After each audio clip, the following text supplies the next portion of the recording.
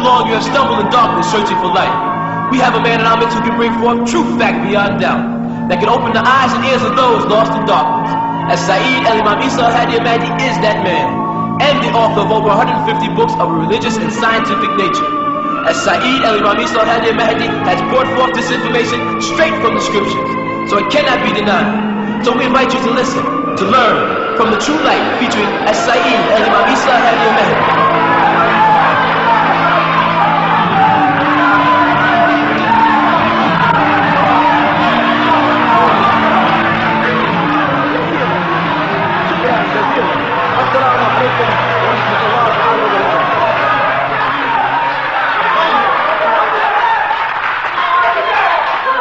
نشهد أن لا إله إلا الله وحده لا شريك له. الحمد لله رب العالمين. الحمد لله الوالي الكريم.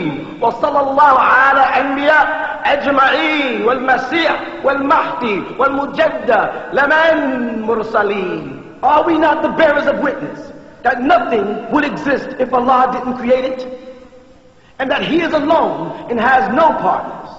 and that all gratitude is for Allah subhanahu wa ta'ala, the sustainer of all the boundless universes. All gratitude is for Allah subhanahu wa ta'ala, the generous eternal friend. And send salutations of Allah on all of his prophets and his apostles, and on the Messiah, the anointed one, and on the Mahdi, the guide, and on the Mujaddid, the reformer, which was all sent from Allah subhanahu wa ta'ala.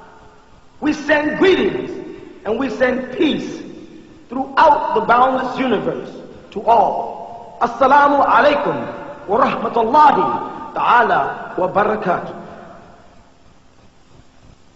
You are now listening to The True Light with As-Saeed El Imam Isa El Hadi Mahdi. Understanding that the cherubim are of the negative angels and the seraphim are of the positive angels, and they are people who are spiritual descendants of these two natures, then why is it so hard for the people who feel that they are of the seraphim to dwell in the tabernacle? All of those people that are seraphim are magnetically attached to the community. Regardless of how far they travel, or what they see, or where they go, they have this desire to come into the tabernacle. Anyone who is at the door of the tabernacle is just listening, like the Quran says, there are angelic beings who listen at the door when the Holy Quran is being recited, only to take those recitations out and pervert them. Many people, whether they're black or white, have become cherubim when they were seraphim by nature. Even the angel himself, Azazel Lucifer, was an angel of pure light. He chose to go bad. So black people can go bad. So when you stall at the gate, Shaitan gets the best of you. He catches you when your consonance is down. He stands at the door, it says in Genesis, and waits your, for your consonants to drop. He waits at your weak points. He sends out slanders like he did to Job. He kept sending different men in his image to tell Job how the Lord has killed his family. And he kept saying, I alone have survived to tell you this. You got to be careful because many people who have the essence of a seraphim, a seraphim are, are the pure archangels for those who want to know, and the cherubim are the wicked angels who fought against them before judgment. Many of them transform from angels of pure light into angels of fire and never even know it. Still say they're Muslims, still wear the garb, still say they're praying. That's another mistake. A lot of pale Arabs tell people that Shaitan doesn't pray. That's not true. Shaitan will pray and his evil servants will also pray. And they will come in the masjid and pray next to you. They will read with you the Quran. They will try to guide you through the scripture their way. They'll not guide you on the Surat al-Mustaqim. They'll not guide you to the covenant. They'll guide you their way. And they'll keep on telling you this is how it really is. This is true Islam. This is the real way because the majority of the educated Arabs accept it. All those people who are educated at those different universities of Al-Islam are not the ones Allah subhanahu wa ta'ala guides. Those are the ones that professors and teachers of different schools of thought guide. It's a big difference. So the point I'm trying to make is a seraphim knows where he belongs and goes there. Yet follow, that's why he says you shall know the truth and the truth shall make you free. When that spirit was restored to David, when he had his soul restored, he said he restored my my soul. Then he followed by and leading me to the path of righteousness for his name's sake. You see that? And he also left by saying, I will dwell in the house of the Lord forever. Not I'll dwell outside with my opinions. And you better be very careful, especially you people in there who might be sincere, about those people who sit at the door of the community. They've been in, they absorb a certain amount, and they sit at the door and pretend they hear, and they're out teaching dressed like us, pretend they're us, never have no intentions of being in here. They're more of the devil's children they are of Ansars. They have came in and have turned back. The Quran refers to them as the munafiq, the munafiqan, or some people translate as a hypocrite, or the real word is nafiq means a divider, a divider. He divides himself from the community in certain aspects and pretends he's in with us in other times. He says he's with us. He says he's like us. He says he believes in the teachings. He says he'll, he'll he, uh, the Imam He says his leader, etc., etc., but he's not in. He says, because I don't like this, and I don't like that, and this doesn't go this way, and I heard this, and I heard that. That is not a seraphim. That is a cherubim in black skin. And he can be as confused about whether or not he is a fallen angel as you can be about whether or not you are a rising angel. Inside his body, there's turmoil or legions pulling him in different directions. That is the devil getting the best of him. Because the righteous come in. The righteous are looking at the signs of the time and they come in. They don't waste no time. They're looking at the world, the events of the world, they're looking at plagues and diseases, and they, they go right in. You understand what I'm saying? If you want to read the Revelations and get a better understanding, the 19th chapter. And after these things I heard a great voice of much people in heaven saying, Allahumma or Hallelujah. Salvation and glory and honor and power unto the Lord our Creator, which they say is God. For true and righteous are his judgments. For he has judged the great whore, which is Babylon, the city that you're in, which did corrupt the earth, the whole world, with her fornications, and has avenged the blood of his servants at her hands, meaning the prophets and the saints that this harlot has destroyed just to prevent the truth. And again, they, meaning the, the righteous inside heaven, who made it to heaven, which you read in the 21st chapter, is referred to as the crystal city, said, Allahumma, or Hallelujah. And her smoke rose up forever and ever. This is all a continuation of the book of Revelations, chapter 18, about the smoke of Babylon. And the four and twenty elders and the four beasts fell down and worshipped Allah that sat on the throne, saying, Amen. It's over, meaning Hallelujah. Okay? And a voice came out of the throne saying, Alhamdulillah. Praise our Creator Allah. All ye his servants, and ye that fear him, taqwa. That's mustaqim. Both small and great. Be he a king or a servant. And I heard, as it were, a voice of a great multitude, and as the voice of many waters, and as the voice of a mighty thunder, saying, Hallelujah. That was an applause. The righteous who endured to the end, who got the crown of life, who stayed in the tabernacle, will be saying, Hallelujah, that it's over. For the Lord, Allah, omnipotent, reigneth. He steps above all ye gods and the Messiah and all of your prophets. Now the whole boundless universe who's Rabbil Alameen, Allah subhanahu wa ta'ala, is Malik al-Yawm al-Din. He now rules as the omnipotent source over all. Now it says, let us be glad and rejoice. Remember Jesus said, rejoice and be exceedingly glad, because great is your reward in heaven. Speaking about the people who would be slandered and persecuted and spoke out against false. He said, blessed are the persecuted. Remember that? Blessed will man shall revile thee and say all manners of evil against thee falsely for my name's sake, because great is your reward in heaven. Rejoice and be exceedingly glad, he says. You understand? So it's the people we're talking about on the inside that we have to worry about people reviling and saying all manners of evil against us. They have all kind of stories about Jama Ansarullah in the Nubian Islamic Hebrews. It tells us to rejoice and be exceedingly glad. And it follows up in that last day, in, that, in the seventh uh, verse of the 19th chapter. Let us be glad and rejoice and give honor to him. For the marriage of the Lamb is come, and his wife has made herself ready. And throughout the scriptures, whenever they speak of the marriage of the Lamb, they say it's to the tabernacle of the Most High. They say that it comes down as prepared as a bride, which we'll read if we go on. It'll prove it. And to her was granted that she should be arrayed. That means you were given the right. That's why it says it was granted that you should wear your white. It was granted that you should be arrayed in fine linen. Many Christian preachers try to imply that this wearing of white is a symbolic of your purity. No, it uses the word linen, which is a cloth, a white cloth.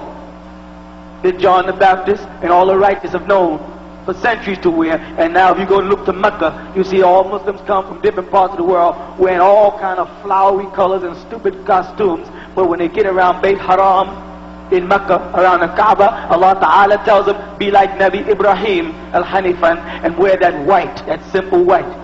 But all throughout the Quran it tells us to be like Nabi Ibrahim.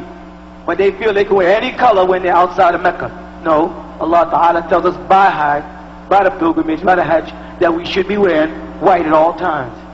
And that's a sign of our purity, but it's also the garment of the righteous. Clean and white. For the fine linen is the righteousness of saints.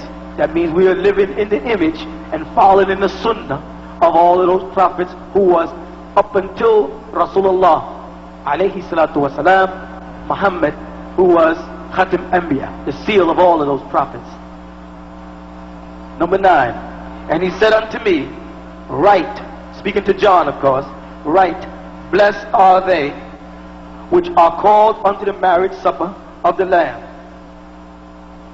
And he said unto me, These are the true sayings of Allah. And I fell at his feet to worship him. John, when he heard this, wanted to fall down and prostrate himself at the feet of the angel, who was Michael, the one who walks him through the books of Revelations, to worship him. And he said unto me, See thou do it not. I am thy fellow servant and of thy brethren that have the testimony of Isa. I am one of your brothers, because Jesus said, I send this angel in, in Revelation chapter 1 to signify my word, you see. And he's telling him, I'm also a testimony, because he was speaking in the reign of Jesus' time, where John, where the kalima would be completed with the word becoming flesh as Jesus, not as Muhammad at that time. So they would say, La ilaha illallah, Isa Rasulullah. The way we after Muhammad came say, La ilaha illallah, Muhammad Rasulullah. So that's why he claimed testimony to Jesus at this point, because Muhammad had not yet come. And he was speaking about the future world. Worship Allah though. He made sure he put after testimony of Jesus, worship who? Worship Allah. For the testimony of Jesus is the spirit of prophecy. So testimony of Jesus is merely a spirit of prophecy. But your worship is for Allah subhanahu wa ta'ala only. La sharika. He alone has no partners. And I saw heaven open. And behold, a white horse. And he that sat upon him was called faithful and true. And in righteousness he does judge and make war. His eyes was flames of fire, and on his head were many crowns. And he had a name written that no man knew but he himself. And he was clothed with the vestures dipped in blood. And his name is called Kalim Allah, the word of Allah. In the Holy Quran, they teach us that Jesus was called Kalim Allah also. That he was filled, had the word of Allah with him. Alright? And the armies which were in heaven, notice that, followed him upon the white horse, clothed in linen, white and clean. Now this is talking about after the thousand year millennium when the 144,000 had been taken up to the crystal city, there to be groomed by the Messiah, Isa ibn Maryam, who even in Al-Islam we acknowledge, or you acknowledge, would return. You follow? Now the devil had been locked up for a thousand years and let loose on the world. Like he does in the book of Job. He let loose on the world with total temptation of all humanity. And at this point, those who had been in heaven for a thousand years, those first resurrectionists, are being ready to come back to wage war against the devil. I feel sorry for you people who don't make the first resurrection. Because when the devil is let loose from the pit on earth, he's going to wreak havoc that you've never felt before. And his day is approaching. 15. And out of his mouth goeth a sharp sword, that with it he could smite the nations, and he shall rule them with a rod of iron. And he treateth the winepress.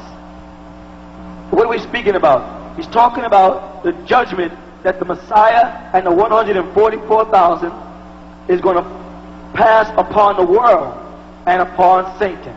He's going to judge people by the tongue out of his mouth. The two-edged sword out of his mouth is to cut up lies like a serpent, sting. He's going to come forth with truth. The two-edged are backed up by the languages of prophecy, the speaking in tongues and in translation, to make things clear in language. And this is the problem we have as teaching al-Islam here in America and trying to resurrect people is they say we, we spend too much time on the words. It's the meaning of words that make the scriptures clear because they called him the word. So you got to start with the words, the written word, and through that there you can make things clear. It said he's going to judge and rule by a rod of iron. There's going to be a lot of suffering because they use that same reading that rod to calculate the number of the beast and to calculate those who are in the tabernacle from those who have given themselves over to become Gentiles. The winepress is mentioned as being as high as the bridle of a horse in Revelation, which is three feet from the ground, where they said blood will run through the streets at the height of a bridle. A horse's bridle stands three feet from the ground. The force is the wrath of the Almighty Allah these 144,000 will come forth with the power of Allah to sting the world. And he had on his vesture and on his thighs the name it King of Kings and Lord of Lords. And the reason why they refer to Isa and Maryam as King of Kings and Lord of Lords is because David himself was a Messiah, which is clearly mentioned in Psalms chapter 2. Every time you see the word anointed in the Bible, the word anointed means Messiah, Messiah, or Mesha, or Misha, depending on whether it's Arabic, Aramic, or Hebrew. But they'll translate Messiah into the word anointed when they don't want to mislead people into the truth by accident. So they make you think that anointed is one word and Messiah is the next. Any biblical or Bible dictionary, you look up the word Messiah, they'll translate it anointed. So they had to point out that this final Messiah here was King of Kings. His judgment is greater than the books of the kings. Because they had prophets who wrote the books called the Book of Kings. And David taught out of that stuff in the Psalms of Solomon. And they were saying that this one is the King of Kings. Because he comes with grace. Grace is ni'mah, or forgiveness. And the Lord of Lords, he's over every rabbi that have ever existed. He's the master of all the rabbis. He no longer falls under Kohen. He no longer falls under Levitical law because he was not a Levite. So they had to establish that he was higher than all of them. Okay? And I saw an angel standing in the sun, and he cried with a loud voice, saying, To all the fowl that fly in the midst of the heavens, come and gather yourselves together unto the supper of the great Lord or the great Creator. Why did this happen? Because if we go back to the books of the prophet Noah, alayhi salatu wasalam, and how he was summoned before the judgment of the world of his time to gather all the animals together. Here we're speaking about the judgment again. And remember, the first time the world was going to be judged, it was judged by water. But this time, Allah subhanahu wa ta'ala says, it shall be judged by fire. So he called the birds to bear witness. Number 18, that ye may eat of the flesh of the kings, and the flesh of the captains, and the flesh of the mighty men, and the flesh of horses, and of them that sit on them, and the flesh of all men, both free and bond, both small and great. Of course, the next question comes up what is he talking about? About eating the flesh. Do you people have a Quran in there? If you do, turn your Quran to Surah Al-Fil, which is the Surah of the elephant. Will someone read it? Uh, okay, this is the 105th Surah of the Quran. It says, in Bismillah ar-Rahman ar-Rahim, in the name Allah, the Healer, the Merciful. Hast thou not seen how the Lord dealt with the people of the elephants? Pause. The people of the elephants were Abraha and them who came through Ethiopia, from through Yemen through Ethiopia to try to take the Kaaba because they knew of the birth of the Prophet Muhammad alayhi salatu. And Allah Ta'ala protected the Kaaba this way. They came forth with elephants riding to, to conquer and stomp all the people around the Kaaba and put their gods and their idols there. But Allah protected the Kaaba this way. Go ahead. Okay, second verse. Is, did he not manifest their scheming to destroy the Kaaba was given an error, was a grave error? And consequently on them he sent airborne flocks, throwing hot stones from Sijil. By throwing the stones from Sijil, he made their flesh raw, like kernels of quickly consumed corn and chewed hay. That's it. بسم الله الرحمن الرحيم ألم تر كيف فعل ربك بأصحاب الفيل ألم يجعل كيدهم في تضليل وأرسل عليهم طير أباحيل ترمهم بحجارة من سجيل فجعلهم كعصف مكفول If you make note that طير in the third verse again, could you read it? Consequently, Consequently, on them he sent airborne flocks. طير or the birds. He used, Allah subhanahu wa ta'ala used the birds. This, by the way, is where Alfred Hitchcock got his picture concept. He used the birds to attack these people who came out against the Meccans while he was put against the followers of Rasulullah. This is how he protected them. And he will protect the 144,000 again when he calls the birds.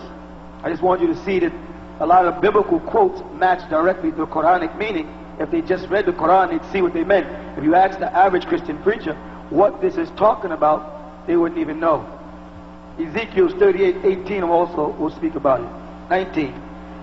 Again. And I saw the beast and the kings of the earth and their armies gathered together to make war against him that sat on the horse and against his army. So now the beast, the devil himself, had got his armies together and they are preparing to war against El Messiah and the 144,000. Notice that this is a replica of that story in the Quran, Surah Al-Fil, when those horsemen on elephants came to make war against Mecca, where Rasulullah Muhammad wasalam would be born and failed. Number 20. And the beast was taken, and with him the false prophet, not prophets, the false prophet, because there will be a flatterer who's going to come in the name of the Messiah and deceive the world, Daniel teaches. A false Christ who's going to rise up and fool the whole world. We call him Masih as Dajjal in Islam.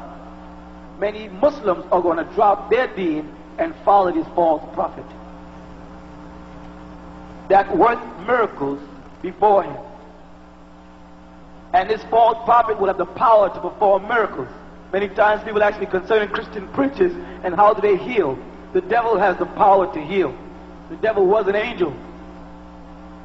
If I, you can heal in the name of Jesus Christ and be wrong. You can heal in the name of voodooism and be wrong.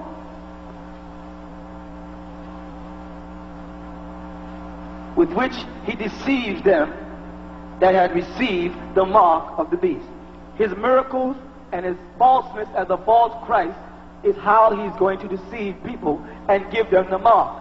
Now in Al-Islam, Rasulullah Muhammad alayhi salatu wasalam, throughout the hadith, they keep making mention of, you know, the followers of Masih al-Dajjal because they'll have a kafir on their forehead, the letter K. Now, what they have misinterpreted is that they have people looking for a letter K when it doesn't mean that. The letter K is symbolic of the kafir. And when you look at people who are living in the image of the beast, and if you look at the Arab world today, and if you look at the president of Egypt, no beard, no taqiyya, suit, tie, he's dressed like any other Britishman. And the same thing would be Syria, Jordan, Morocco, and even Saudi Arabia, and up until recently, even the Sudan. These people are living in the image of the beast. Therefore, when you see them, you see a K, you see a kafir. They have the mark of the beast on them.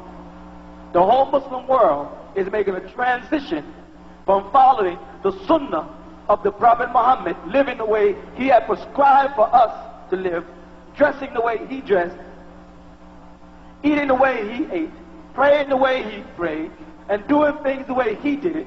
Now we're following the hadith of men from different parts of the world who are altering them to suit their culture.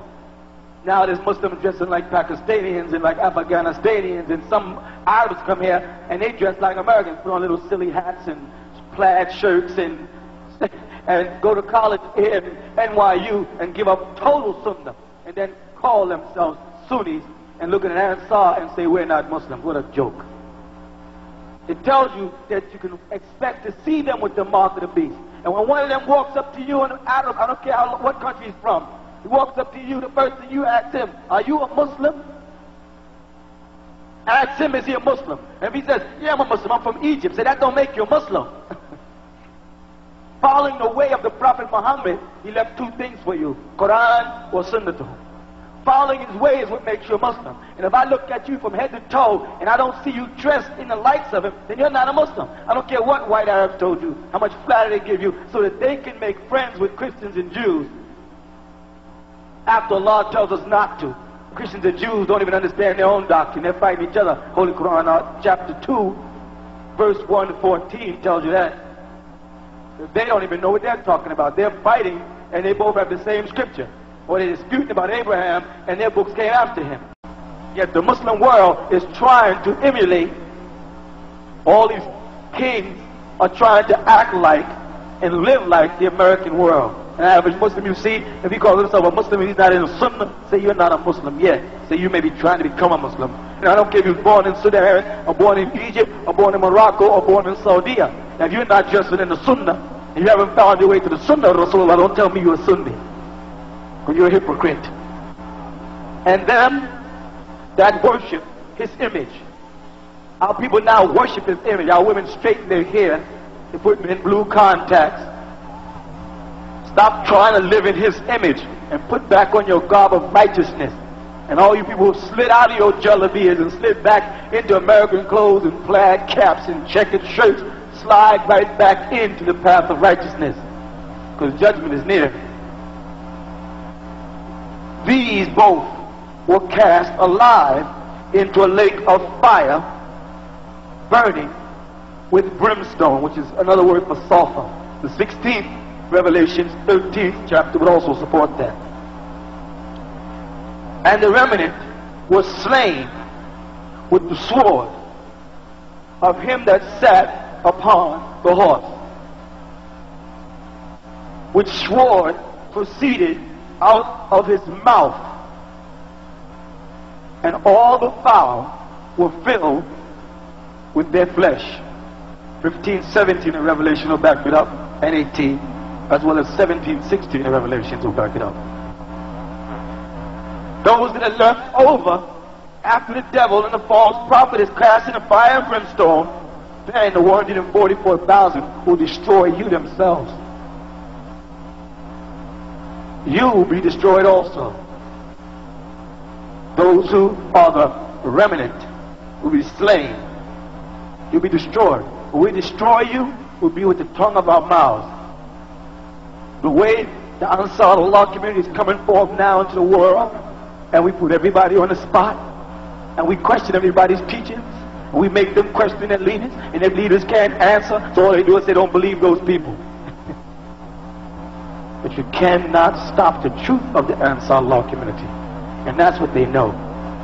All of Sunni Muslims and the Shiites and all the different groups and the Bilalians and, the, and anybody that hates our community, they can talk about everything about our morality about the moral conduct. They can create all kinds of stories on, I heard this and I heard this. I heard he has all these millions of wives and all these millions. They can create all that. They would say, if you say, forget the man. Okay, he don't count. What about the truth? Let me ask you some questions about the Quran or by the scripture. It can't go. That's what you judge by. Let's read on. Now we move on to number 20. And I saw an angel come down. This is Michael from heaven, having a key of the bottomless pit and great chains in his hand. And he laid hold of the dragon, that old serpent, which is the devil and Satan, and bound him a thousand years. Revelations 12 9 will give you another description of Satan. Now, Michael comes down after this, after that thousand year period, after the enraged war, he grabs a hold of Satan. The false prophet, remember, is already gone. Now Satan himself is left. What does he do with him? He's going to bound him up again. Bounds him a thousand years, and casts him into the bottomless pit, and shuts him up, and sets a seal upon him you see that ring on your finger? It has a six-pointed star and crescent. That ring you wear on your finger with the six-pointed star and crescent is the seal that can bound the devil. You can't get around him. How many of y'all who wear that ring have had devils walk up to you and say, do you know what that means? If you know it, bear witness. White man will see that ring on your finger and say, excuse me, can I see that symbol a minute? And his face will fall apart. He'll go, uh, what does that mean? Is that is that Islam? Is that Judaism? what are you? You say, I'm an Islamic Hebrew. He goes, a what? An Islamic Hebrew. I follow the religion of Abraham. He says, it's not possible. You can't be an Islamic and be a Hebrew. I say, you're right. You can. I can. I am the nation that Father Abraham was talking about. You knew I was coming. You knew I'd come like a thief in the night. You didn't think we was going to tell you he was here. While Honorable Elijah Muhammad was preaching, and while Noble Drew was preaching, and while Sheikh Dawah was preaching, and while the Sunni Muslims and Ahmadiyya was preaching, we wasn't preaching, we was building. We came like a thief in the night. He just looked around, and we were here. When we looked around, the rest of them, they said, I just looked around, and they were gone. he just looked around, and we're here. And now he has to contend with this new thing. The doctrine is unstoppable. He knew it. But that seal, you better get your seal and keep it on because it's your protection against them. Don't let nobody fool you.